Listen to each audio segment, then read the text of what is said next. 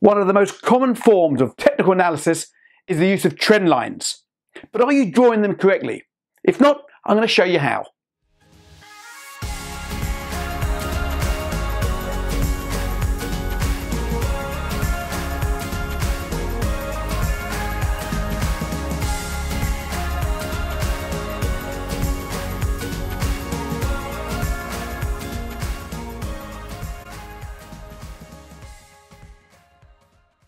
Now, as we all know, there's a vast array of different forms of technical analysis that we can use when we're analysing the markets when making our trading decisions.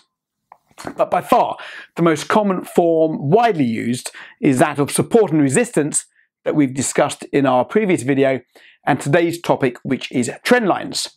Everywhere you look, it's all about trend lines. You hear it on all our financial news channels, on the analytical reports that we read on a daily basis. We're often hearing about trend line support, broken the trend line um, resistance, and so forth. So I th- certainly think it's important that you educate yourself on uh, the subject of trend lines so you know exactly what it is that they are talking about.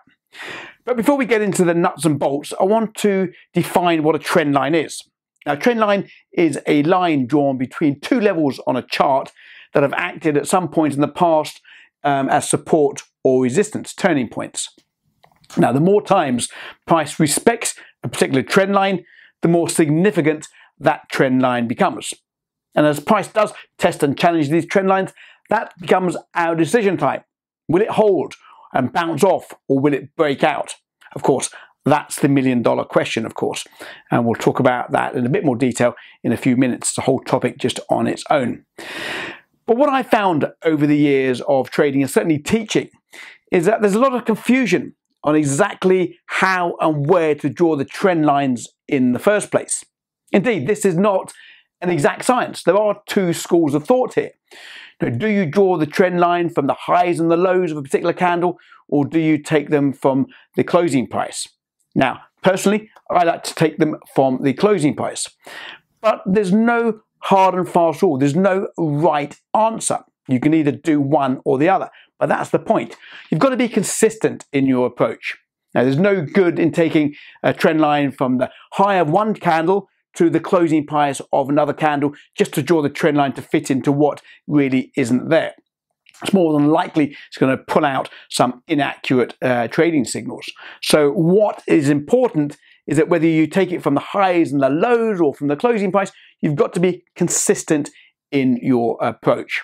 Now, we're going to get onto the charts and I'll show you exactly how I draw my trend lines. And then more importantly, or as importantly, I'll show you how I use them as well in my trading. Come on, here we go. Okay, so the first thing we need to be aware of when, when we're plotting trend lines is the direction of the trend. And the clearest way to identify the direction of the trend is by using your eyes. So where price has been to where it is going. You see here in this example, price is down here. We're making a series of higher lows. This is an uptrending market. So we're going to be placing a trend line below where the price is. An uptrending market, the trend line will be low, therefore acting as support. If the market is trending down, then we'll have the trend line placed above where the market price is, therefore acting as resistance on the way down. So as I've said, there's basically two schools of thought in determining where to place your trend lines. Now the first school of thought is that you can place them on the extreme points, the highs and the lows of a particular candle determined by the wicks. So in this case, you could plot a trend line going something like that. So you're looking at this wick here. The only problem when doing that is that you often find that the price is quite a way away from where that particular trend line is drawn. That's going to be the same if you're plotting a downtrending market. If you're taking the wicks, we'll take this wick from here to that wick there, and that would be your descending trend line. Now, the approach that I like to take is to use the closing price. And the best way to do that is by using the line graph. So here is the line graph. Now I'm going to use the same chart. I'm going to plot my, my trend lines in using the swing lows and the swing highs on the line chart.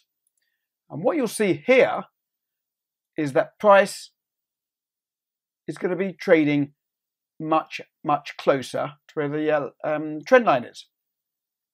So now going back to the candlestick, you'll see that the orange line, that's using the line graph, shows you price action much, much closer to the trend line. Now, as far as I can see, there's two main advantages by using the closing price or the line graph approach in drawing your trend lines. First of all, if you're looking to trade the breakout trade, that's basically meaning a break of the trend line to go in the opposite direction. Using the line graph approach will get you into the breakout much, much sooner because the price is much more attuned to that trend line. You'll see here on the orange line here, that was the line graph approach. You get into that breakout to the downside much quicker than if you were to use the blue trend line approach, which is on the wicks.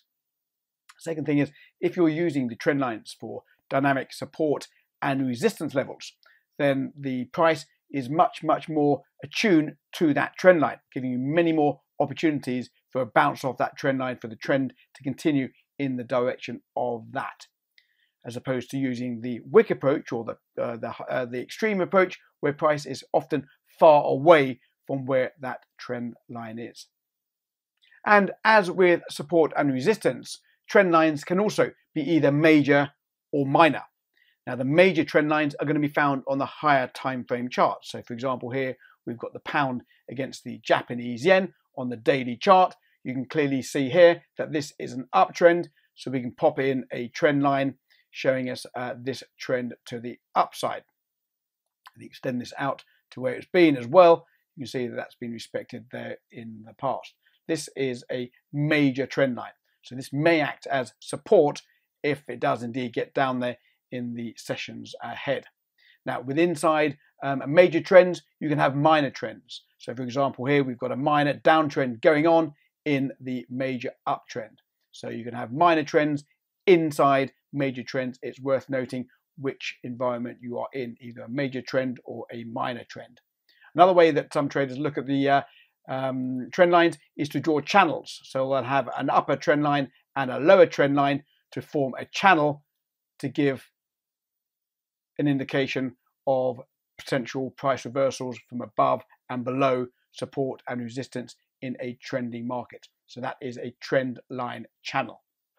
Okay, so whether you're a trend line trader, whether you love it or whether you don't have much time for it, whatever camp you're in, I hope you enjoyed the video and found it informative. Give me a thumbs up if you did, give me a thumbs down if you didn't, and of course leave a comment below. I always read them and try to get back to as many as I can. Subscribe to the channel if you haven't already done so, and make sure you follow us on Instagram so that you can keep abreast of what's going on behind the scenes here at forexsignals.com. Until the next video, happy trading and goodbye.